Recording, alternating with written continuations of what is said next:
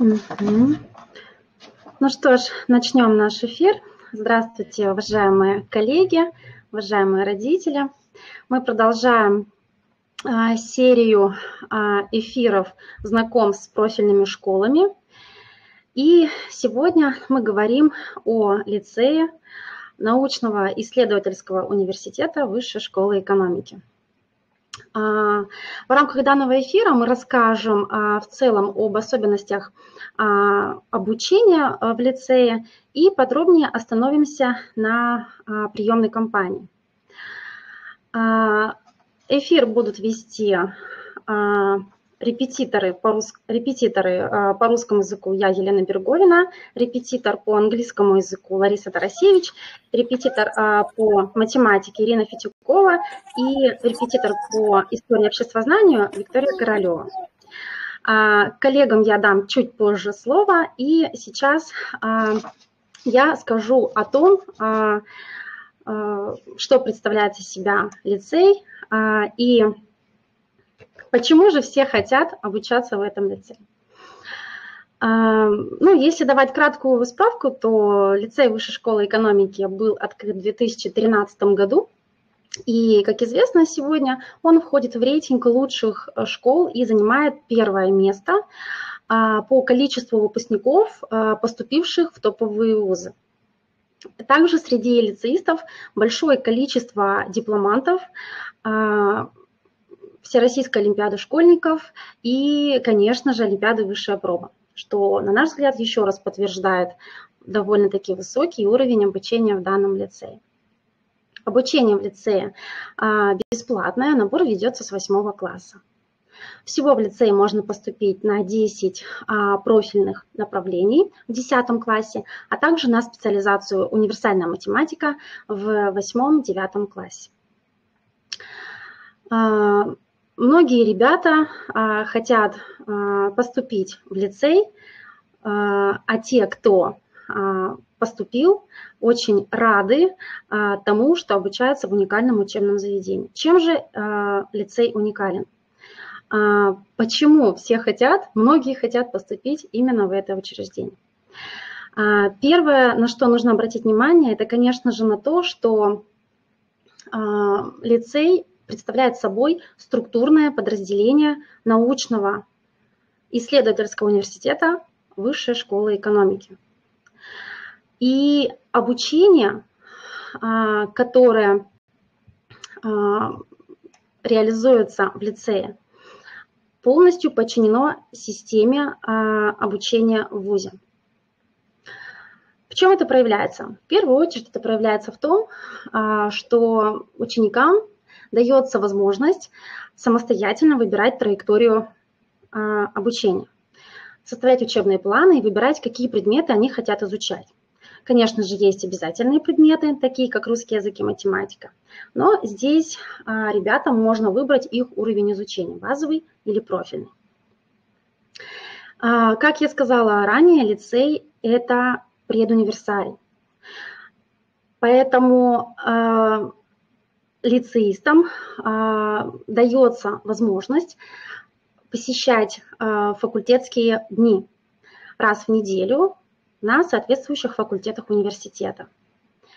Лицеистов обучают вузовские преподаватели, в том числе профессора Высшей школы экономики, известные ученые, авторы учебников, пособий и так далее. А, ребята а, в рамках обучения в данном лицее а, выполняют, подобно курсовой работе в ВУЗе, выполняют индивидуальную выпускную работу, в рамках которой они могут создавать настоящий проект или же целое научное исследование. Э, также можно отметить то, что ребята обучаются по парной системе, подобно э, обучению в ВУЗе. То есть у них не уроки по 45 минут, а пары. Также можно отметить то, что э, жизнь лицеистов довольно-таки насыщена. У них очень интересные а, внеурочные программы, в том числе те программы, которые создают сами ребята. Здесь множество социальных проектов и мероприятий, которые лицеисты создают для лицеистов. Ребята здесь могут реализовать а, свои самые амбициозные мечты и планы, такие как, например, создание каких-то а, интересных, может быть, стендап-шоу. Они здесь могут снять сериалы или даже сделать модный показ. Конечно же, в лицее существуют факультативы, творческие, спортивные, подготовка к олимпиадам, а факультативы по изучению языков. Многим ребятам нравится то, что в лицее нет формы. А, и это создает определенную такую интересную и комфортную обстановку для ребят. А вместо привычных школьных звонков на переменах играет музыка, та музыка, которую ребята выбирают путем голосования а, в лицее. Главный принцип лицея – сотрудничество и взаимоуважение независимо от возраста и статуса. Это проявляется а, во многом, в том числе даже в том, что преподаватели лицея обращаются к своим подопечным не иначе, как коллегам. Многим ребятам это очень нравится, хотя для некоторых это непривычно. Ну и вообще, в принципе, а, творческая обстановка в лицее и вот эта а, атмосфера сотрудничества довольно-таки привлекательна для многих ребят, но сразу же могу сказать, что эта атмосфера, конечно же, обязывает ко многому и не для всех ребят подходит обучение в лицее. Я думаю, мы с коллегами да, немножечко сегодня этой темы тоже коснемся. А, что касается основных особенностей обучения а, в лицее, вроде бы я отметила основные. Коллеги, может быть, вы еще можете добавить что-то, то, что связано с особенностями обучения в лицее, отличие от школьной программы, вроде бы основные моменты я назвала ничего не пропустила, вроде бы самое важное назвала. Да? Угу. Так, ну что ж, а, давайте тогда перейдем непосредственно к приемной кампании. Так, я могу, в принципе, даже сделать здесь... Угу. Угу, да, демонстрацию экрана. Видно, да? Угу. Итак, а, приемная кампания в лицее начинается 1 а, февраля. А, для поступления в лицей в рамках основного набора необходимо в период с 1 февраля по 15 марта подать заявку в личном кабинете. Необходимо, конечно же, заранее зарегистрироваться в этом личном кабинете, получить логин и пароль. И с прикреплением заявки необходимо а, также а, отправить а, мотивационное письмо. Кстати, мотивационное письмо не оценивается в лице. Да, мы как раз с вами, коллеги, недавно проводили да, эфир по гимназии Сколково да, и говорили о том, что там мотивационное письмо весит целых 10 баллов. Да, здесь мотивационное письмо не оценивается, но тем не менее, конечно же, оно тоже должно быть написано в соответствии с, с нормами а, языка. А, после того, как а, абитуриент отправит заявку, и так, я в принципе здесь даже... Ага, да, вот даже так будет интересней. После того, как абитуриент отправит заявку с мотивационным эссе, ему необходимо будет пройти вступительные испытания. Кстати, э, вступительные испытания проходят в дистанционной форме а, на платформе Moodle с использованием системы прокторинга. Так, сейчас. Угу.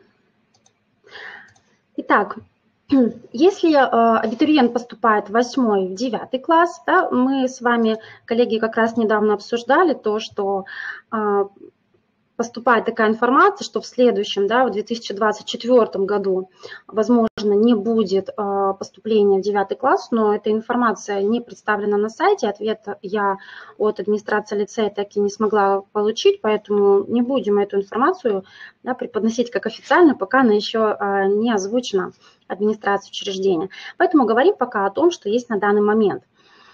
А если мы если абитуриент поступает в 8-9 класс, а, у него а, есть возможность выбрать либо универсальную специализацию, либо математику и физику. Кстати, если не ошибаюсь, можно выбрать оба направления, но одно должно быть приоритетным.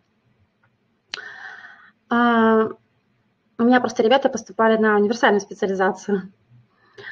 Так, сейчас вот здесь Угу. Если а, абитуриент поступает на универсальную специализацию, то он участвует только а, в первом этапе вступительных испытаний. Например, а, в этом году э, экзамены для 8-9 класса были, были в начале апреля, они были 8 апреля.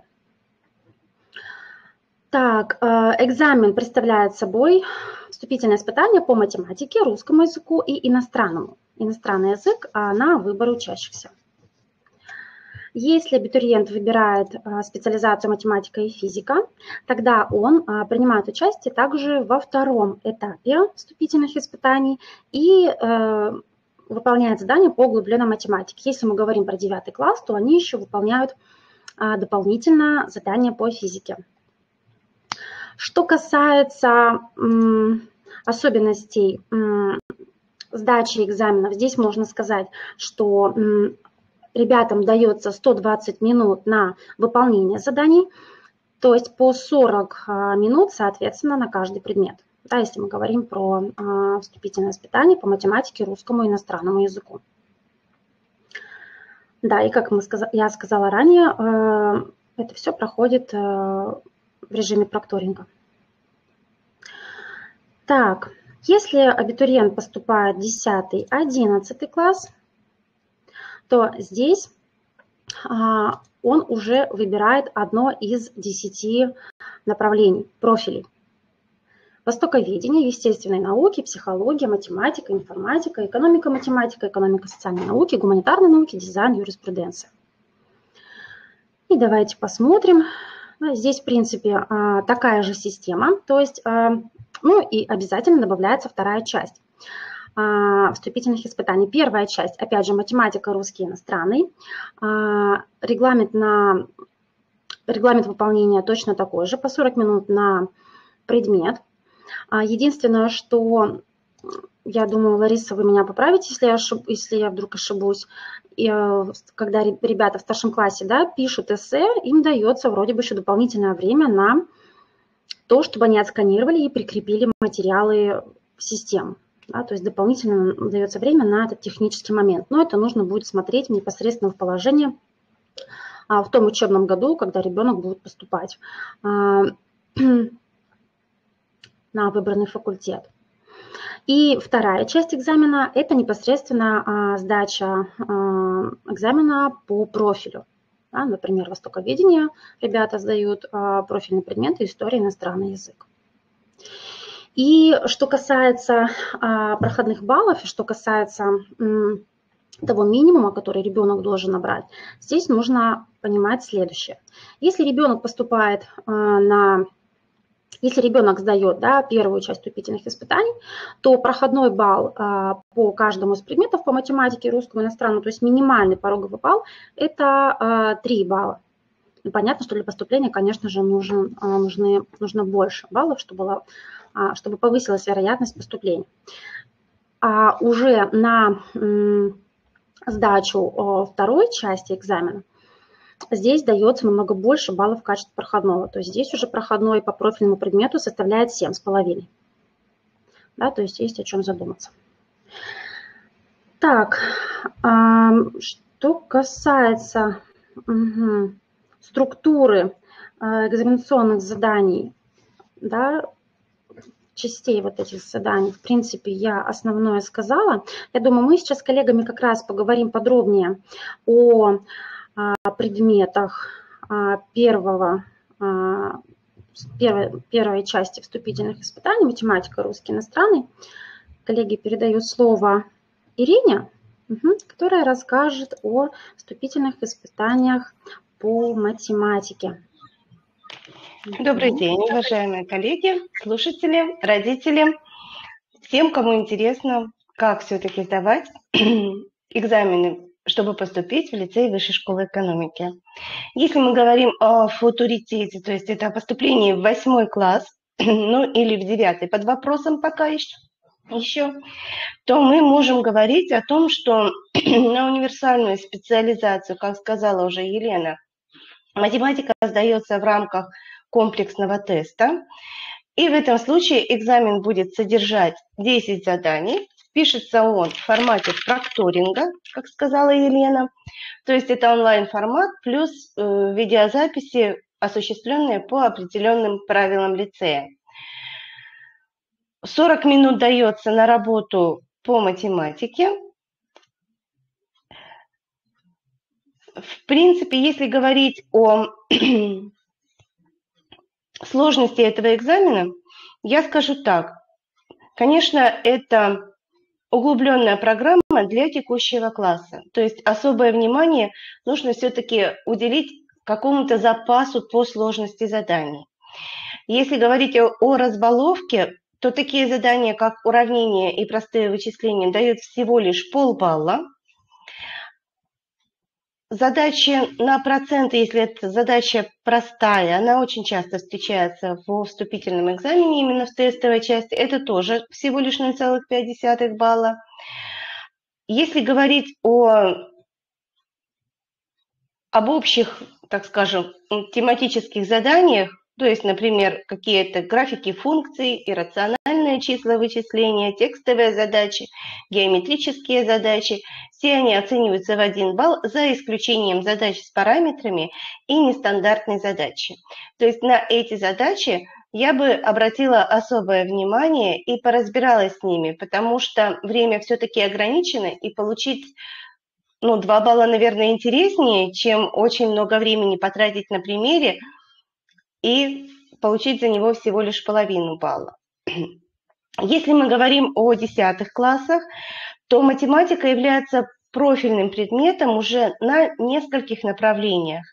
Это направление экономики и социальных наук, экономики и математики, информатика, инженерия и математика, психология, как ни странно, естественные науки. То есть при изучении этих предметов в 10 классе э, математика изучается на хорошем уровне. Если мы говорим о направлениях математика и математика и физика, то кроме тестовой комплексной работы теста, ну, необходимо будет пройти еще и устное собеседование. И здесь правила немножко, конечно, ужесточаются, потому что сдается это в очном формате. Также даются примерные задания для, для ребят. И необходимо решить три задачи и обязательно обосновать это решение устно экзаменатору. Экзаменатор вправе задавать вопросы по ходу решения задачи и может поставить вернее, может э, оценить задачу как недостаточно обоснованную и дать еще одну попытку абитуриенту для защиты своей задачи. Каждая задача оценивается до 5 баллов. На задачу дается не более 5 попыток. Суммарно получается итоговый балл путем суммарной вычисления суммы этих баллов и умножается он на 2 трети, то есть получается максимальный балл за устное собеседование – это 3 балла. Хочу обратить особое внимание на частые ошибки, которые допускают ребята при сдаче э, экзаменов. Во-первых, это невнимательность и вычисление. К сожалению, из-за таких вот вроде бы, на таких вроде бы несложных заданиях очень часто теряют баллы ребята. Кроме того, большинство ошибок в логических задачах и текстовых задачах. Поэтому на решение этих задач я бы советовала обратить особое внимание тем, кто планирует поступление. Ну и если мы говорим про устное собеседование, то регламентом ограничено было в 2023 году 60 минут на прохождение этого собеседования. Ну и поступающие, которые не преодолели основной порог баллов, не рассматриваются к зачислению в рамках основного конкурса в лицей. Это минимум 7,5 баллов на, на устном собеседовании, и это минимальный проходной балл 3 балла на, комплекс, на комплексном тестировании получается. То есть 3 балла нужно было набрать как минимум. Задачи меняются ежегодно, поэтому основной упор советую делать на понимании тем, а не на провешивание разных типов задач. Собственно, можно потом добавить еще про дополнительные баллы, да, которые могут получить абитуриенты, но, наверное, это попозже об этом поговорим, да, Елена? Что, можно сейчас сказать, я думаю? Можно сейчас, да? Угу. Конечно, оцениваются дополнительные баллы для всех специализаций. Это победители и призеры Всероссийской Олимпиады школьников заключительного этапа. Дается целых 5 баллов дополнительно. А также победители и призеры регионального этапа в СОЖ – это 4 и 3 балла. У меня пошло большое эхо. Ага, спасибо. Вот. Кроме того, есть э, Олимпиада ступеней. Победители и призеры заключительного этапа ступеней также получают за седьмой класс плюс 3 балла, ну и за восьмой класс, если поступают в девятый класс. Национальная Олимпиада по анализу данных дано может дать 4 балла победителям заключительного этапа и 3 балла призерам заключительного этапа. Всероссийский конкурс имени Вернадского – это конкурс э, проектов, также дает 2 балла победителя, победителям и 1 балл призерам. Высшая проба, заключительный этап победителям дается 4 дополнительных баллов, балла, и призерам дается 3 дополнительных балла. Высший пилотаж, Всероссийский конкурс исследовательных и проектных работ. Тоже оцениваются победители и призеры заключительного этапа, и можно получить 3 или 2 балла. И даже золотой, серебряный или бронзовый значок ГТО может дать драгоценный 1 балл нашим абитуриентам для поступления. Кроме того, если мы рассматриваем факультет математика и физика, то оценивается еще Московская Олимпиада школьников, также заключительный этап по математике и физике соответственно, и Олимпиада физтех. Тоже по направлению математика и физика победители 4 балла и призеры 3 балла дополнительно к сумме баллов, которые они получили за экзамен. Кроме того, факультет довузовской подготовки, который существует в лицее, дает э, по результатам личного рейтинга дополнительные баллы, опять же, для поступления ну, в соответствующий класс. Там выделена квота 10%, по-моему, от квоты приема на, по, специаль, ну, по специализации универсальная, по направлению поэтому. Ну и, конечно, дополнительные внеконкурсные места, вот я себе пометила, это, конечно, социальные льготы, то есть э, дети-сироты, инвалиды, дети из многодетных семей. Э, очень интересный факт, что дается дополнительные внеконкурсные места, если Э, дети зарегистрированы в Басманном районе Центрального округа Москвы. Если они получили максимальный балл за устное собеседование как раз по математике, ну и если один из двух близнецов проходит по конкурсу, а второй не набирает баллы, то второй как раз вот этот из близнецов ему могут выделить внеконкурсное место.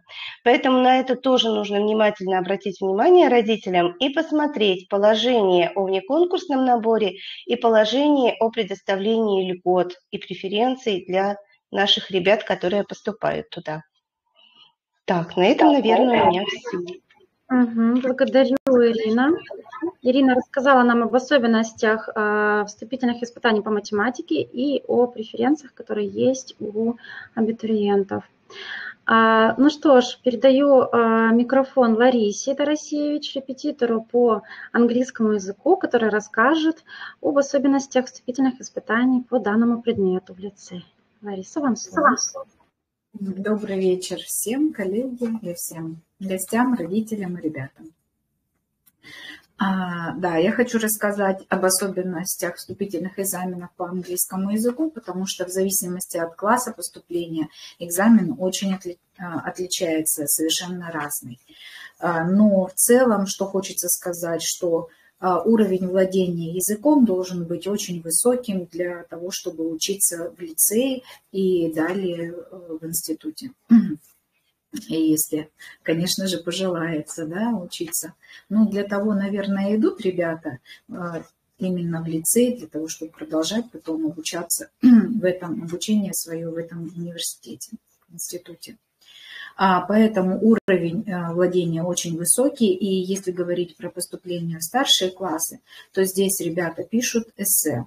Как уже в начале Елена говорила, на эссе выделяется, да, время, а отдельно то, что время выделяется, это именно на создание самой работы. Ну а далее Каждый год нужно, конечно же, смотреть вот эти требования, особенности, они а, могут уточняться, а, обновляться и так далее. Это эссе «За и против». И написать такое эссе может э, человек, который владеет э, на хорошем продвинутом уровне английским языком, э, умеет свободно высказывать свои мысли, обладает критическим мышлением. А к самому формату написания эссе можно подготовиться.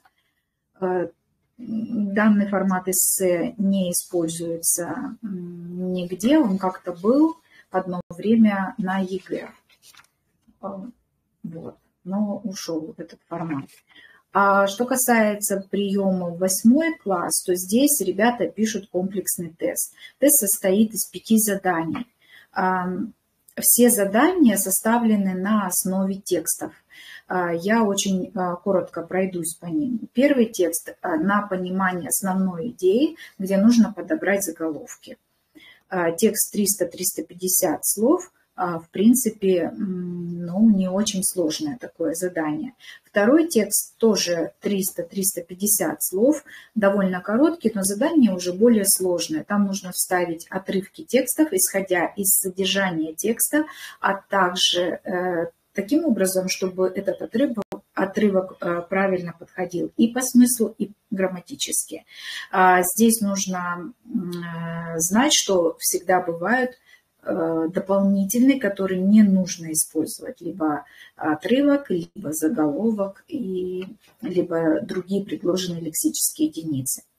А третье задание идет уже текст в тысячу знаков, тысячу слов, вернее, тысяч, тысяча лексических единиц.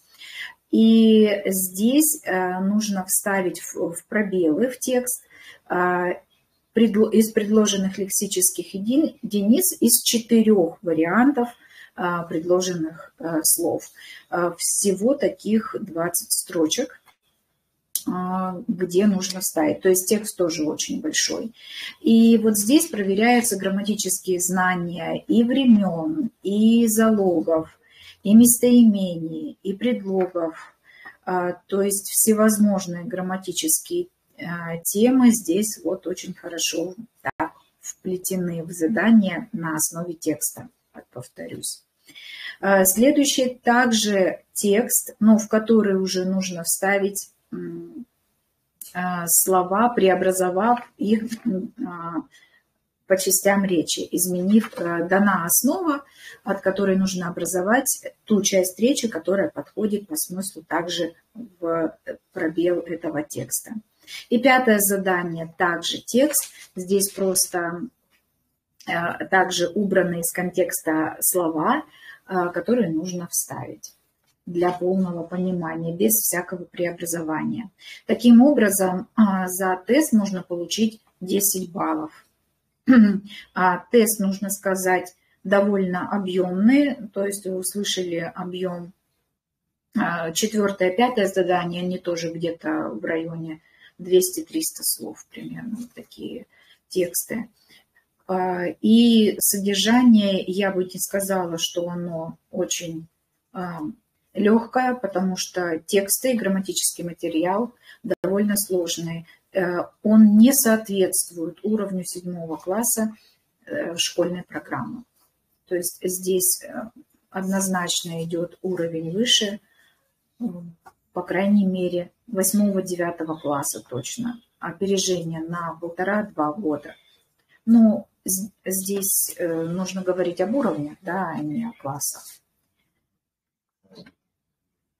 И знание уровень владения языком оправдан, потому что в старших классах лицея некоторые предметы преподаются на английском языке, поэтому знания такие нужны.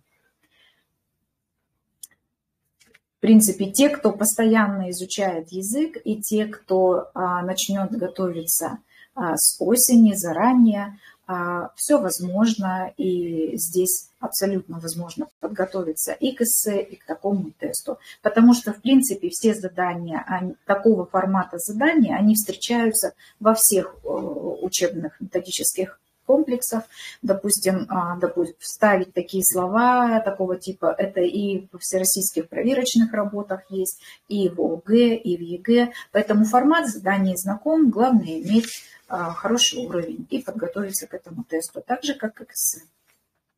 Желаю удачи и ждем подготовку, приглашаем на подготовку, но я опережаю, передаю микрофон ведущему. Да, Лариса, благодарю вас за, ваше, за вашу экспертную оценку э, вступительных испытаний по английскому языку в лице Высшей школы экономики. А, ну что ж, я могу сказать также о а, тестировании по а, русскому языку. И на правах хозяйки эфира я могу сделать трансляцию демо-версии для наглядности. Я думаю, это будет хорошо. Угу. Тестирование по русскому языку э, да, в любой параллели включает 10 э, э, тестовых заданий. Я открыла сейчас демоверсию 10 класса.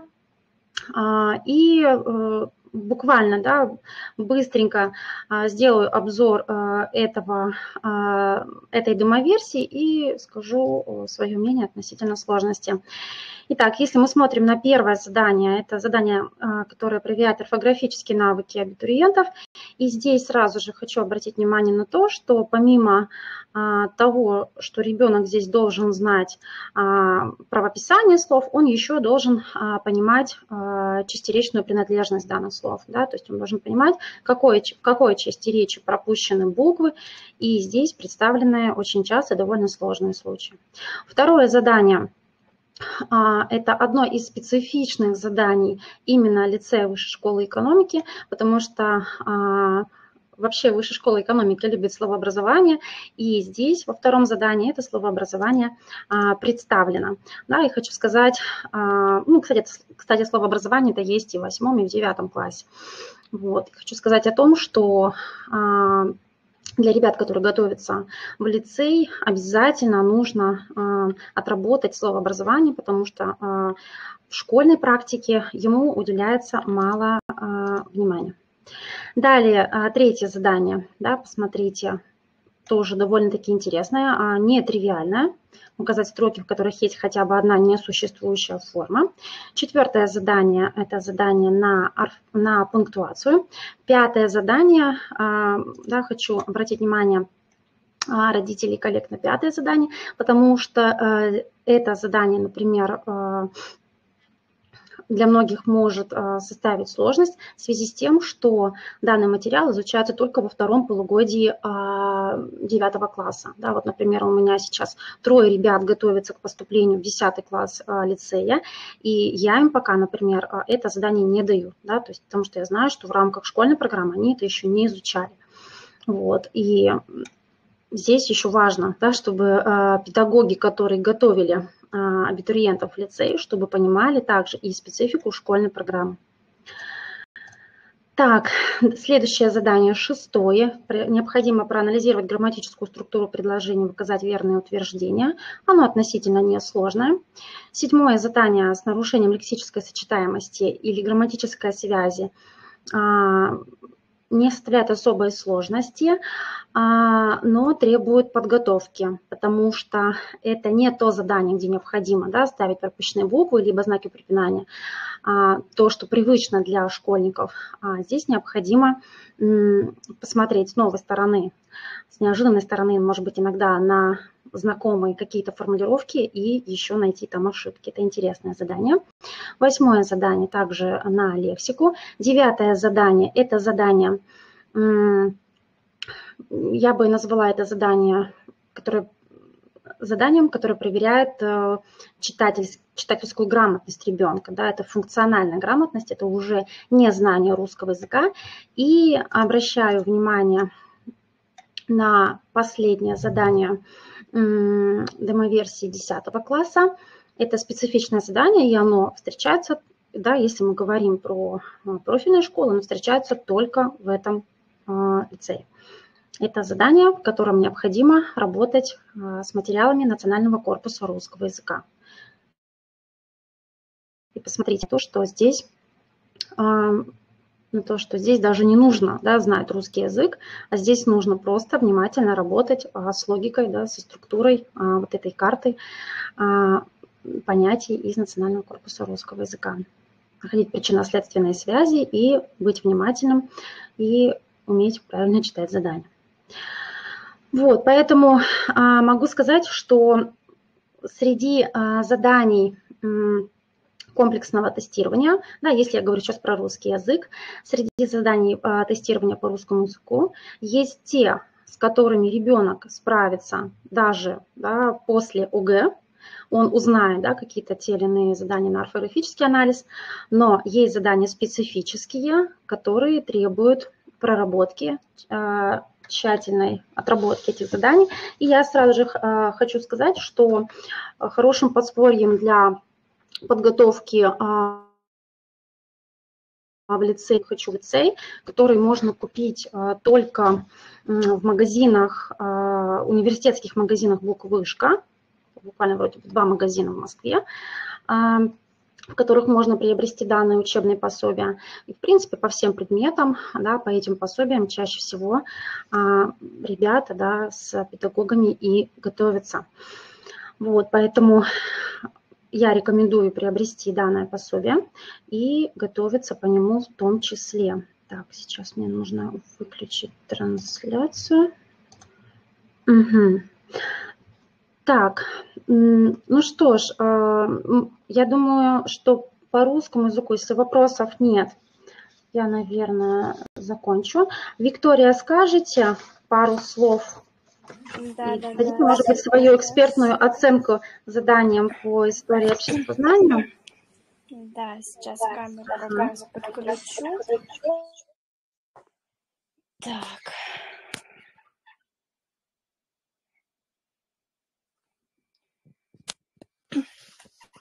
Добрый вечер, коллеги, ребята и родители, которые смотрят наш эфир. А, я как преподаватель истории и обществознания хотела бы рассказать о факультетах, на которые требуется а, история и обществознание.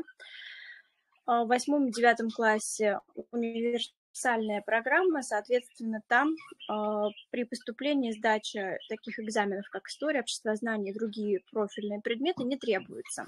В основном профили начинаются в десятом классе, и вот как раз-таки по истории, по обществознанию целых пять направлений, куда знания истории обществознания пригодятся. но не каждое из этих направлений может подойти обучающимся. Самыми популярными являются это гуманитарное направление, это а, экономика в социальных науках, это юриспруденция, также востоковедение и дизайн. А, ну, если гуманитарные науки, а, экономика в социальных науках и юриспруденция, тут сто процентов понятно, что необходимо знание либо истории, либо обществознания, потому что профильный предмет ребята сдают на выбор. А, то в дизайне и востоковедении а, немножечко интересный момент, потому что этот факультет подойдет не каждому ребенку. Востоковедение подходит тем ребятам, которые в дальнейшем планируют планируют обучение как раз-таки по своему направлению востоковедения. Соответственно, язык, по которому да, они будут обучаться в дальнейшем. А, ну и, соответственно, здесь дается только история, да, из моих предметов обществознания здесь не нужно направление. Виктория, вы пропадаете. Виктория, вы пропадаете. Да. А, тут экзамен не представляет из себя чистый экзамен по истории. В данном экзамене а, вопросы встречаются как по истории, ну и больше. Так, сейчас. Угу. Виктория, мы, мы вас да, прерывисто слышим, с, при, с перерывами. Что-то со связью угу. происходит.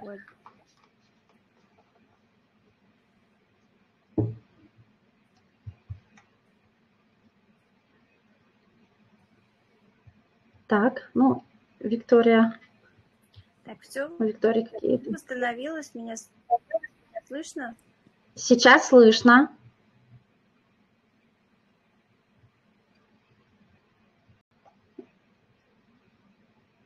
Так, Виктория, вы, все, да? Вы уже закончили? Или есть что-то еще важное добавить? Угу, отлично. По поводу социокультурной осведомленности. Это в основном такие экзамен по истории искусства.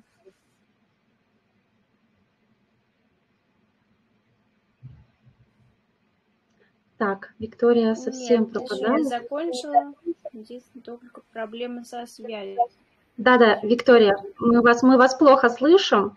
Тогда давайте мы продолжим хорошо эфир, потому что, к сожалению, я думаю, что ценная информация, которую вы говорите, не будет услышана ни нами, ни зрителями.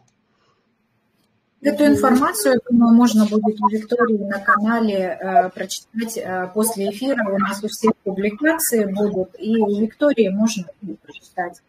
Да, хорошо. я думаю, лучше так поступить. А, ну что ж, коллеги, а, я бы хотела еще сказать а, несколько слов о том, о том, какие а, я вижу особенности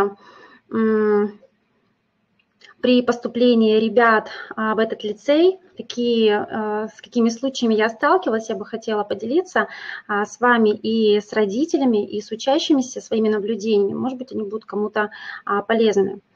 На мой взгляд, этот лицей, он ставит довольно-таки высокую планку не только с точки зрения академической успеваемости, да, то есть с точки зрения академических знаний.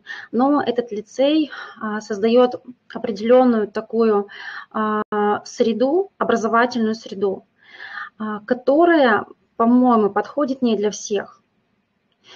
Бывают такие случаи, в моей практике были такие уже ситуации, когда ко мне обращались родители, и а, просили подготовить ребенка в лицей высшей школы экономики. И на мой вопрос а, о том, зачем, а, да, почему они хотят поступать именно в этот лицей, они говорили о том, что их задача главная поступить в этот лицей, главное уйти со своей дворовой школы. И вот такой случай, на мой взгляд, не самый удачный для для результата ребенка, потому что чаще всего немотивированные дети а, в этом лицее не остаются. А, мы, как педагоги, которые заинтересованы а, не только э, в том, чтобы ребенок поступил, но и в том, чтобы ребенок в принципе обучался, чтобы наша работа не была впустую, да, ведь, коллеги, мы, конечно же, в первую очередь ратуем за то, чтобы а, в этот лицей приходили родители а, и дети сознательно и осознанно. Здесь необходимо понимать, что и довольно-таки высокая планка ставится с точки зрения учебного результата и с точки зрения вообще самоорганизации. А, здесь нет да, каких-то дедлайнов, здесь нет таких ситуаций, когда учителя а, ходят за учениками, как в обычной школе, и просят их а, сдать там долги, какие-то контрольные работы и так далее. Здесь в лицее строится все иначе. Здесь предоставляется свобода выбора, да, почему многие лицеисты и ценят да, вот эту среду, которая позволяет им почувствовать себя взрослыми. Но не каждый ребенок а, способен а, обучаться в таком а, учреждении. Поэтому мы а, рады видеть тех родителей, тех детей, которые приняли да, взвешенное решение поступать в лицей высшей школы экономики. Мы знаем, как готовить в этот лицей. А, у нас есть уже ребята, которые поступили в это учебное заведение. И мы а, для того здесь и собрались, чтобы, во-первых, продемонстрировать да, и а, свое экспертное мнение относительно заданий, а, которые выполняют ребята при поступлении, и для того, чтобы познакомиться с будущими родителями, с будущими нашими учениками и предложить свою помощь при поступлении в данный лицей. Мы будем рады, если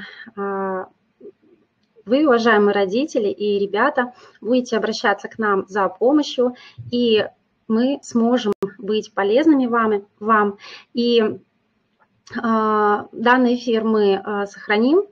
Этот эфир будет у нас на YouTube, будет в телеграм-каналах. А, мы оставим свои контакты для связи.